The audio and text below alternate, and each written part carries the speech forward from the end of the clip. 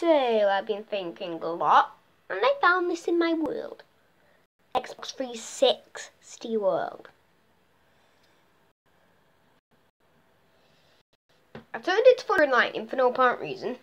I spawned a creeper in, and then what did I get? Well, what do you know? I charged Creeper and Xbox 360 edition.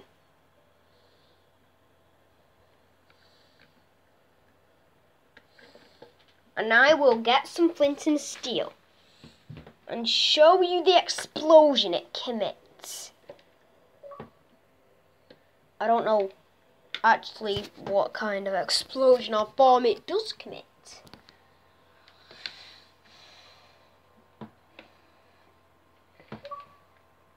If my controller didn't go off, then I could show you.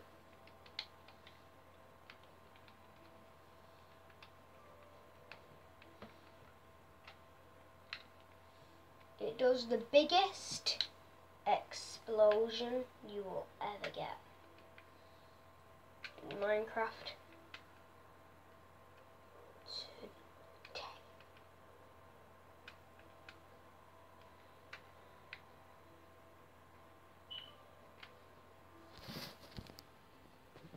I now here I declare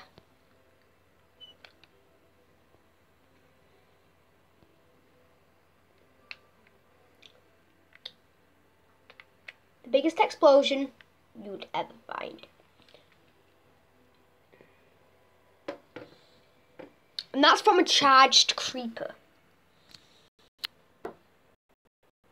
A charged creeper in Minecraft Xbox 360 edition.